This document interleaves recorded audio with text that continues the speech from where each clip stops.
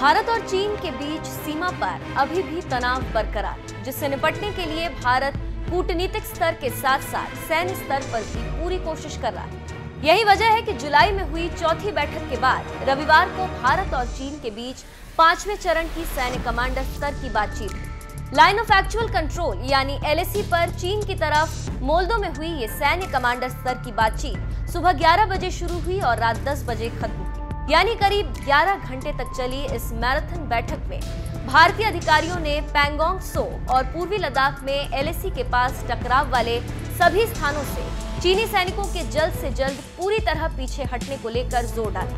इस बैठक में भारतीय प्रतिनिधिमंडल का नेतृत्व लेह स्थित चौदह कोर के commander lieutenant general Harinder Singh ने, जबकि चीनी पक्ष का नेतृत्व दक्षिणी शिंजियांग सैन्य क्षेत्र के commander major general Liu Lin ने किया। इससे पहले कोर कमांडर स्तर की पिछली वार्ता 14 जुलाई को हुई थी, जो करीब 15 घंटों तक चली। थी बातचीत में भारतीय पक्ष ने चीनी सेना को साफ़ संदेश दे दिया कि पूर्वी लद्दाख में पहले की स्थिति बरकरार रखी जाए और उस इलाके में शांति बहाल करने के लिए सीमा प्रबंधन के संबंध में उन सभी प्रोटोकॉल्स का पालन करना होगा, जिन पर एक दूसरे के साथ सहमति बनी। इस कड़े रूप के साथ ही भारत ने चीन को बता दिया कि अब इस मुद्दे पर विस्तार से चर्चा किए बिना आगे नहीं बढ़ा जाएगा।